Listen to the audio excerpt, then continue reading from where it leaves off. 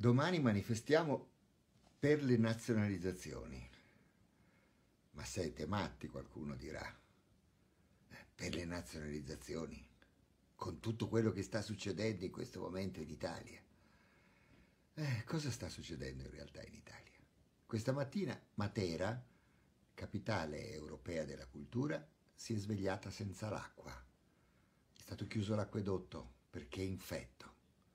Direte il sud, no, no, no. Pochi giorni fa nella provincia di Brescia centinaia di persone sono, si sono ammalate di legionella per eh, che cosa? In realtà non si sa ancora, l'acqua forse no, l'aria, l'aria perché? L'aria inquinata per gli scarichi non controllati delle industrie. Ovunque noi andiamo, viviamo questo drammatico contrasto. Le condizioni della vita normale sono sempre più difficili però siamo pieni di centri commerciali, di beni, di consumi, eh, di, consumi di, di, di, larga disponibilità, però i beni essenziali, quelli che servono per vivere, per avere una vita normale, sono sempre più rari, sempre più costosi. Ecco, questo è l'effetto della grande privatizzazione cioè di quel processo che c'è da decine di anni in Italia, per il quale non solo sono state vendute o regalate ai privati aziende fondamentali che poi sono state smantellate, no, si, si sono privatizzati i servizi essenziali, si sono privatizzati i beni comuni, i beni per la vita quotidiana, si è privatizzata la vita, si è affidato al mercato la vita eh, normale, quotidiana delle persone. In questi giorni parliamo ancora di Brescia, a Brescia si voterà a metà novembre per un referendum per mantenere l'acqua pubblica. Come? Mi direte, si è già votato per questo. In Italia c'è stato un referendum nazionale una decina di anni fa per mantenere l'acqua pubblica, esatto. Nessuno l'ha rispettato, pochissimi l'hanno rispettato, pochissimi comuni in Italia la gran parte delle istituzioni pubbliche hanno continuato a privatizzare. A Brescia si continua a privatizzare. Perché? Perché si tagliano i fondi, perché c'è il rigore di bilancio, perché c'è l'austerità e quindi dove si guadagna? Privatizzando. L'acqua viene privatizzata e si vota a Brescia per non privatizzarla, come dovrebbe essere scritto e come dovrebbe, si dovrebbe fare obbedendo alla nostra Costituzione e a Roma negli stessi giorni, sempre a metà novembre, si voterà per non privatizzare il trasporto pubblico, perché anche lì c'è chi dice, ah, hanno raccolto le firme, si fa un referendum, privatizziamo il trasporto pubblico, così funziona meglio. Funziona meglio. Adesso andiamo a Genova, dove abbiamo visto come funziona meglio la privatizzazione. La strage del ponte Morandi, una strage drammatica, ma che non a caso ne ha richiamata una ancora più drammatica, più tragica, con, con migliaia di vittime, la strage del Vaillant del 1962. Allora quella strage era frutto della diga che aveva, che aveva costruita in un posto dove non doveva essere costruita e che aveva prodotto l'immane disastro, la distruzione di interi paesi, ecco, eh, era frutto dell'energia elettrica privata. Allora si stava nazionalizzando l'energia elettrica. Eh, e la diga del Vajont e la strage della diga del Vajont era frutto dell'energia elettrica privata di prima. Oggi si sta riprave, riprivatizzando l'energia elettrica, ci telefonano per dirci vuoi scegliere il gestore.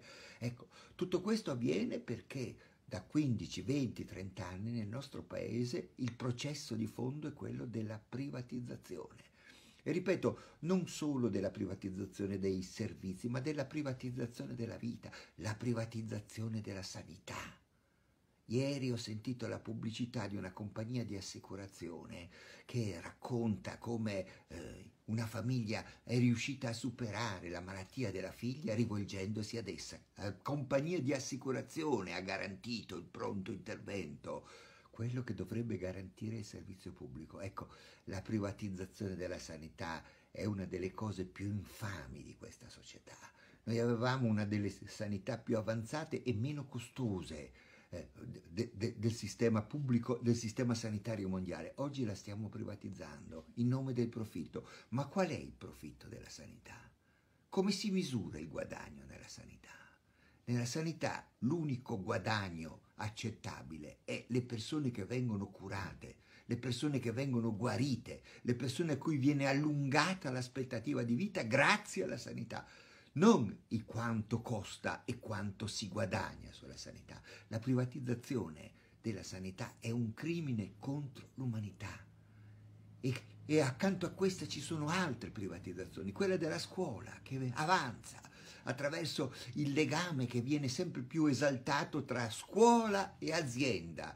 La scuola deve servire al mercato, non a formare le persone, ma a educarli ad essere lavoratori obbedienti al mercato. Anzi, si comincia addirittura con l'alternanza scuola-lavoro fin da giovani. I giovani vengono, devono essere educati ad andare a lavorare gratis, perché questo è l'avvio del posto di lavoro. Ecco, questa è la grande privatizzazione, uno sconvolgimento della nostra società a cui bisogna contrapporre il ritorno al pubblico, al controllo pubblico dei beni comuni, alle nazionalizzazioni, cioè un dominio della politica pubblica e del controllo pubblico democratico sul mercato, l'esatto opposto di quello che è stato fatto finora. Mi direte, ma questo adesso viene messo in discussione. Il governo giallo-verde sta mettendo in discussione la privatizzazione. Non è vero. A parole sì, ci sono una marea di annunci, ma lasciamo perdere gli annunci. La sostanza è che questo governo ogni tanto dà qualcosa a qualcuno, qualche cosa ai poveri, qualche cosa forse ai pensionati, nel quadro delle stesse politiche economiche, di privatizzazione, di regali alle imprese. Si dice che si devono aiutare, anzi che si farà scomparire la povertà e poi con il decreto Salvini si mettono in prigione i poveri. Si dice che si devono, si cambieranno le pensioni, si miglioreranno le pensioni e poi si fa il condono fiscale, si regalano i soldi ai ricchi, un colpo al cerchio e un colpo alla botte, quello più grosso è sempre alla botte che siamo noi. E tutto questo senza modificare la sostanza della politica economica, una politica economica fondata sul privato. D'altra parte, il socio di maggioranza di questo governo, quello che comanda, la Lega di Salvini, è un partito che dove governa pensiamo in particolare in Lombardia, nel Veneto, nelle regioni dove governa, è il partito del privato, delle privatizzazioni, del mercato e del profitto. Quindi come fa a cambiare politica? Però dall'altra parte noi abbiamo eh, l'Unione Europea che non è che contesta Salvini perché ha fatto le leggi feroci sui migranti, no, contesta Salvini perché forse nell'ambito della sua campagna elettorale vuol dare qualche cosa alle pensioni. Ecco, Qui abbiamo quindi uno scontro tra quelle che sono praticamente due versioni della stessa politica, una più razzista, una più fintamente liberale, ma tutte e due che portano al trionfo del mercato e del privato. Per questo noi in qualche modo ci sentiamo dentro una gabbia, perché siamo di fronte a tante alternative, tutte mostruose, tutte della stessa politica. Per questo bisogna scendere in piazza. Come si fa se non a fare diversamente?